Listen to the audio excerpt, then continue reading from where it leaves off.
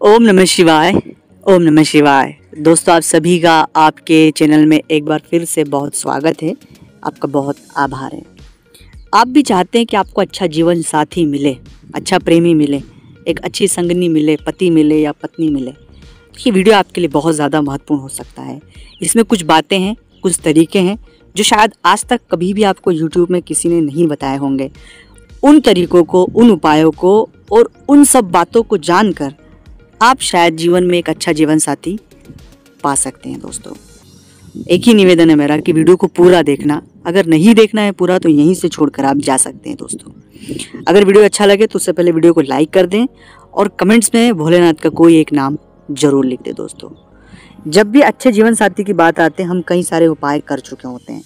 लेकिन कुछ ऐसे उपाय होते हैं जो अमूक है, जो अपना फल बहुत जल्दी और बहुत कम समय में देते हैं। उन उपायों पर हम आज बात करना शुरू करेंगे। लेकिन उससे पहले एक निवेदन है कि उससे पहले एक निवेदन है कि अगर अभी तक आपने चैनल को सब्सक्राइब नहीं किया है, चैनल से आप नहीं जुड़े हैं, सबसे पहले आप चैनल को सब्सक्राइब कर ले, कमेंट्स में भोलेनाथ का कोई एक नाम लिखें, जो भी नाम आपको अच्छा लगे।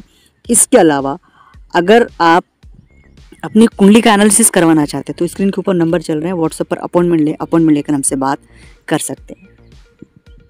सबसे पहली बात कि अगर आप पुरुष हो या महिला हो तो किन्नर को हरे कपड़े दान कर दें। हरे कपड़े मतलब एक नए वस्त्र लाएँ। अगर आप महिला हैं, लड़की हैं तो आप साड़ी या वस्त्र का धारण करें। अगर आप पुरुष हैं तो जो भी हरे वस्त्र हैं, माफ़ी चाहता हूँ, हरे वस्त्र याद रखिएगा। हरे वस्त्र आप दान कर दें, किन्नर को दान करें। कभी भी कर सकते हैं, शुक्रवार करें तो बहुत ही अच्छी बात है, लेकिन किसी दिन भी कर दें, बहुत अच्छा होगा। दूसरा तरीका है कि जब भी अच्छा जीवन साथी अगर आपको नहीं मिल रहा है तो जहाँ पर भी चीटियों के लिए आप बहुत बार खाना खिलाएँ।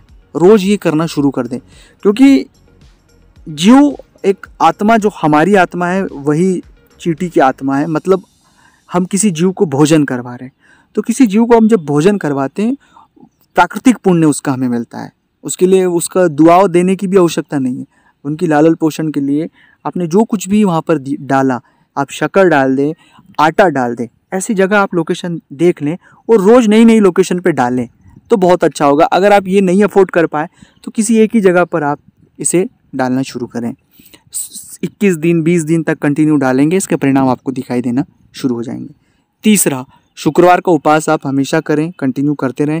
शिव जी को रोज़ इत्र लगाने की आदत डाल लें ये चमत्कारिक परिणाम है। बहुत से लोगों को बहुत सा पॉजिटिव फ़ायदा हुआ है। तो इत्र लगाना शुरू कर दें और इन सब उपायों को करने से पहले अपने माइंड को क्लियर रखें, खुद को पॉजिटिव रखें, सकारात्मक रखें।